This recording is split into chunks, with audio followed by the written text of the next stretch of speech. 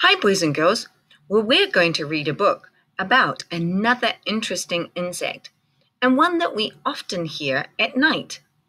We can also see them hopping around in the day in the grass, often out on our playground. If you look hard enough, can you think what I'm talking about? It's the cricket. Chirping crickets. And these guys, they're often prey for a lot of different animals, so they're quite an important member of the food chain and the whole food web. Well, let's find out some information about ch- chirping cr- crickets.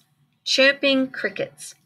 And it's written by Melvin Berger and it's illustrated by Megan Lloyd. We can see those very interesting crickets Let's take a look inside. Ooh, here's a front view of a cricket. And here's our hopping athlete.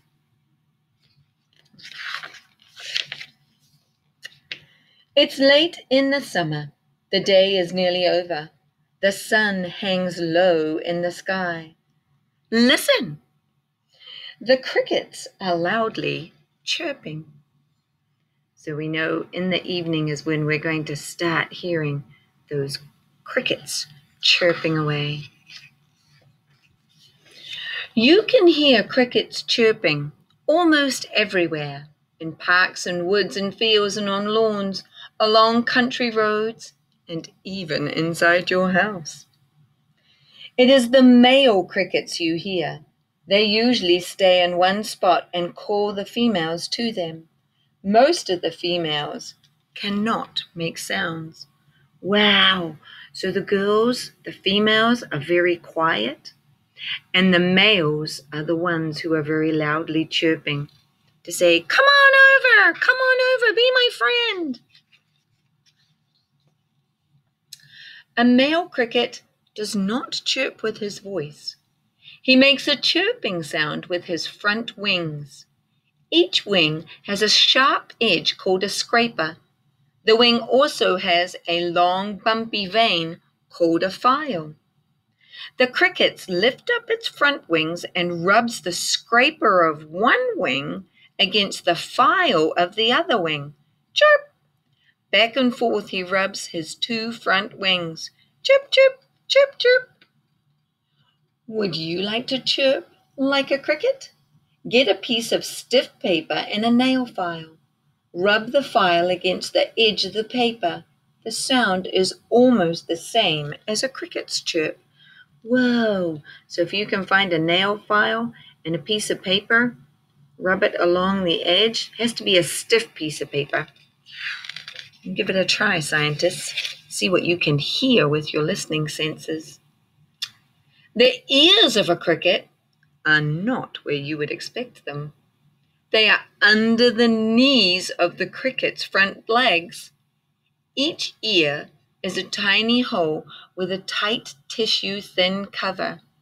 Crickets hear chirping sounds through these tiny holes. Right here. Right in there. That's where its ear is. Wow, what an interesting place to keep your ear behind your knee. This is what happens. The chirps make the air move or vibrate. We learned about that when we were learning about the senses and we saw the rice bouncing across the thin membrane that we created so that we saw how sound waves travel through the air with vibration and then cause the eardrum in your ear to vibrate, hearing sound. The sound waves spread out to all sides. When they bump into the cricket's ears, the cricket hears the sound. Just like us, vibration is amazing, creating those sound waves. A female cricket hears the male's chirps. She jumps towards the sound. Closer and closer she gets. Soon she is alongside the chirping male cricket and they mate. Inside the female, tiny eggs start to grow. When the eggs are ready, she uses a long pointed tube at her back end to make tiny holes in the ground. Then she lays her eggs inside the holes. The eggs look like teeny tiny bananas. Cool.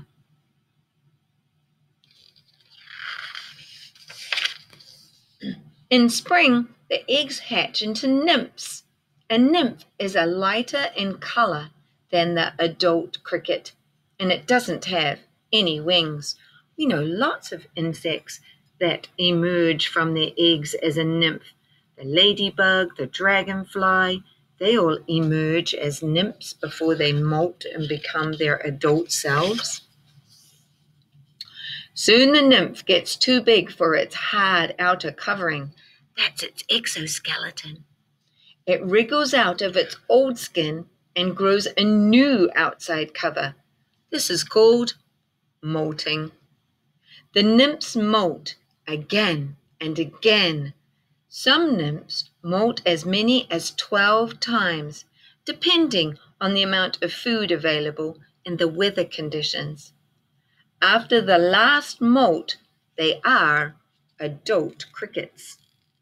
So they molt again and again until they get to their adult size.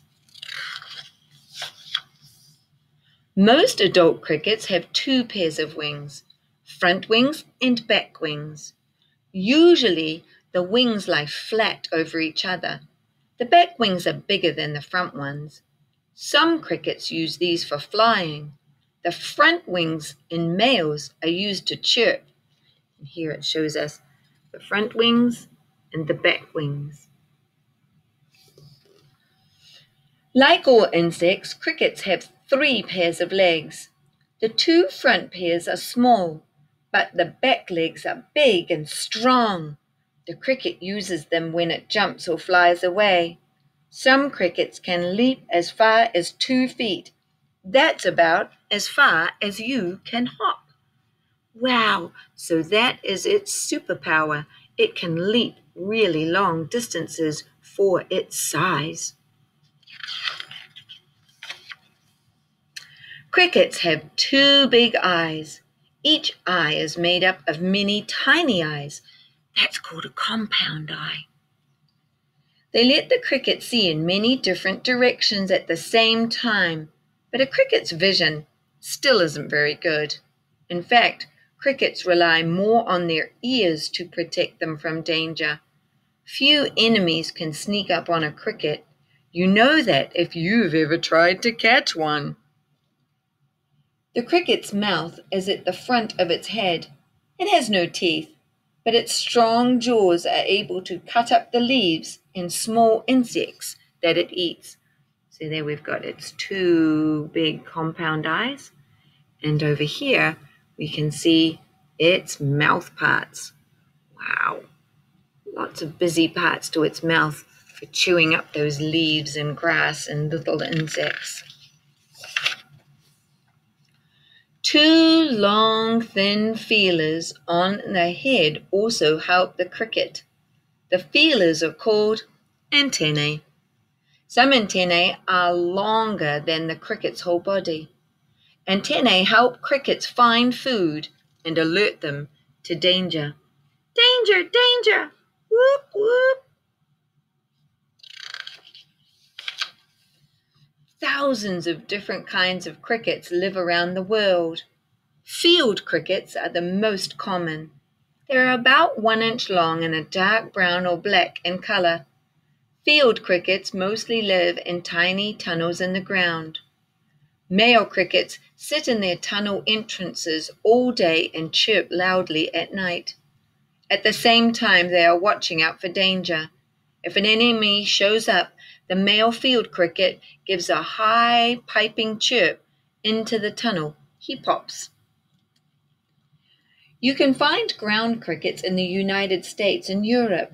They are brown or black like field crickets, but they are only about half the size.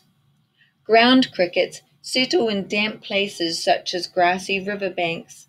Their song sounds like a tinkling of bells. Many ground crickets hide during the daylight hours, but at night they are actively eating, fighting, and mating. So they're very busy and active at night and just rest during the day.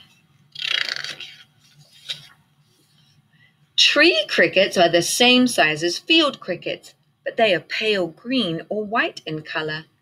Their very long antennae reach back to the tips of their rear legs. Male tree crickets do not usually chirp alone. Instead, they chirp in groups.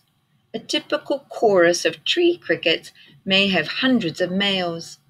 Their high pitched song sounds like treat, treat, treat, treat. Tree crickets hide in trees, bushes, and tall grass. Here they find the smaller insects they like to eat. House crickets are best known in Europe. They would rather live indoors, especially in warm places. Their favorite spots are near a stove, a fireplace, or heater. These light brown or yellow crickets endlessly repeat their high trilling sound. Many people believe that house crickets bring good luck. Having a cricket in your house, they say, means that nice things will happen to you. Wow, so hopefully I will have a house cricket in my house. That would be really good luck. But also annoying if they treat too much while I'm trying to watch TV or read a book. The sky is very dark now. The loud chirpings of the crickets fill the air. It is night time. It is the sound of summer.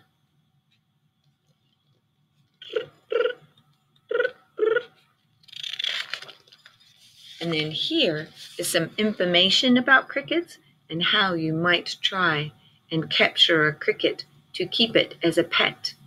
Yes, there are some people who keep crickets as pets because remember they thought they were very lucky. Wait one moment. All right, boys and girls, I know some of you probably have not heard a cricket, so let's hear what a cricket sounds like.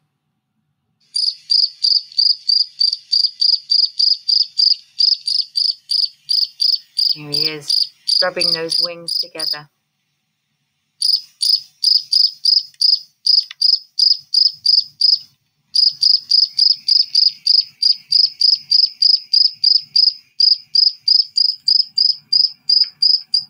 So now you know what a cricket sounds like. Okay, team, scroll on down and find out what's your chirpy assignment for today.